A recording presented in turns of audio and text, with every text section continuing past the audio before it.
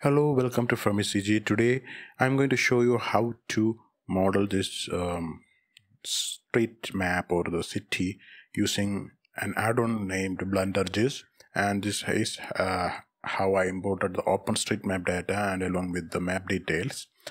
And you can see I have buildings and highway also selected. You can see the highways and all these things uh, and also the base map so if you select you can see uh, this base map also having the height details also.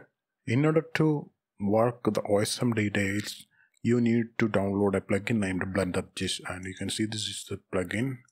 Uh, so this you can see. I will show you how to download this and this is their site github.com you can see the blender gis add-ons. I will provide a link for downloading in the YouTube video.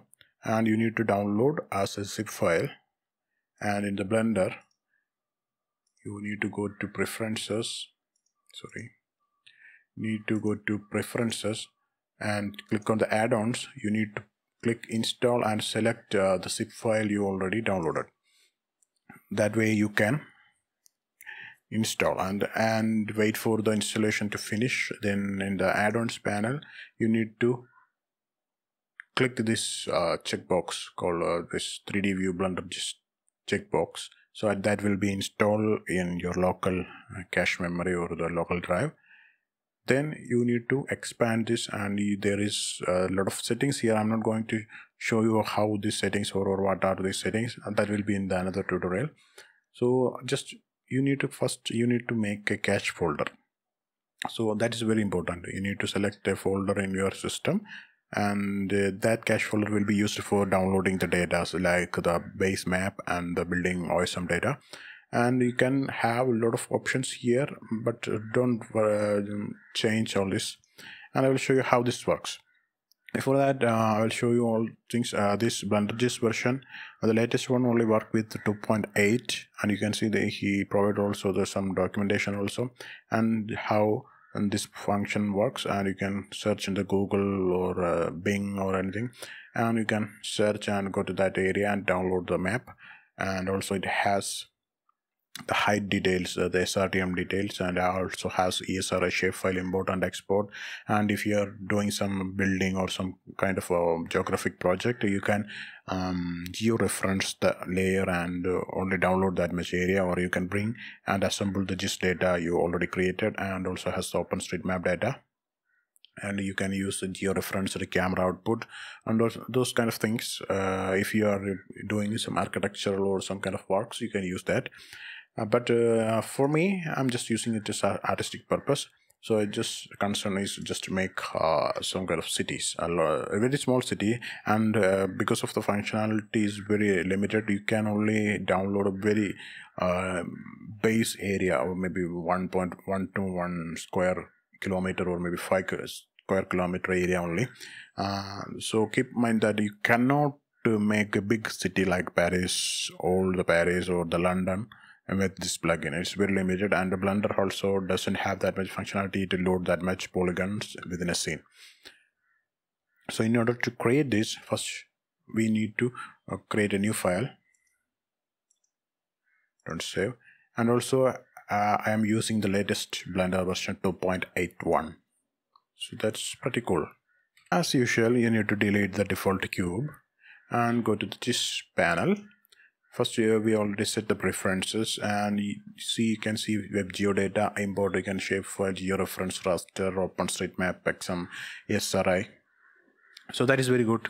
Uh, if you already download some openstreetmap data xml data you can load it here also. That will give you uh, extra functionality and you can export the shapefile and uh, georeference camera options uh, some kind of mesh uh, settings. You can uh, analyze them download the data and you can geo reference or something i am not sure what are these things. And you can have terrain analysis object you can bring the object on on top of on top of the mesh created. So i'm just creating this web geodata base map. And here it give you a different functionality. For google and you have OSM Bing, OSM WMS. You can select whichever map you want. Actually, I'm going to use um, Bing because uh, in the Google map uh, there is some issue I found in the latest version. Sometimes it's uh, quit without giving a warning. So I'm just using the Bing map and you can use uh, always uses the satellite or map data. I'm just using the map data and if you press OK it will um, just download something. And uh, sometimes in the Bing it won't show anything. Just press the plus or minus uh, button in the, your keyboard on the number pad. Uh, it's going to show the data. See? Now you can use the plus button or uh, the mouse zoom um, wheel. And you can go and select whichever area you want. If you use google map it will uh, give you the uh, all layer names accordingly. But uh, already i said um, some issues with my configuration. Whenever i use google it, it has some issues. So don't worry if you know the place you want you can press um, g. Press the g button on the keyboard and it will show the search functionality. So you can search here go to paris and here the zoom level. Uh, so if you already know how the OSM work or the Google map work uh, there will be a default zoom level. So how much uh, the area the camera is zooming with the satellite uh, data. So default will be the 11 so that the whole area will be shown. You can press ok. So it will go to that area Paris. And you can press space uh, so this is the map now the Paris map now you can press the space bar and change the map to satellite and press ok. That will show you the satellite map. And you can see the how much data is downloading here. Now we already have this area. And um, keep in mind that this plugin is not made for downloading all the data as of course you can download the high resolution map data not the OSM data. So my concern is to download the OSM data. So I'm not going to use the whole area just only the um, smallest area I can. So I am going to zoom this area. Plus plus. You can see um, the scale zoom scale uh, the zoom number is going to change maybe 16 is enough. So you can see uh, now I have a lot of areas you can cover maybe a little bit here also. Okay so I need only this much area. So I fixed the area. Now you need to press E button in your keyboard. So it will uh, make a plane and it will be fixed uh, in your um, blender. So you, nothing will change now we need to select WebGeo data and get SRTM in order to get the height detail. You not go, can go WebGeo data, get SRTM. That wait for some time to download the data. See, now I already have the height details. So you can see this is in the perfect uh, you can achieve if you compare with another uh, commercial solution or maybe another programs. But it is very basic setup you can uh, use for your uh, small scale city project or something smaller or maybe game project. Okay. And now we have data for the map. Now we need uh, the building data in order to get that in order to get the building data or the OSM data you need to go just and same the WebGeo data get OSM details. And make sure you are selecting uh, only the, uh, the that much you want not too much data. I can see either you can use it as a node or way or relationship but that depends upon what kind of project you want I need only the buildings.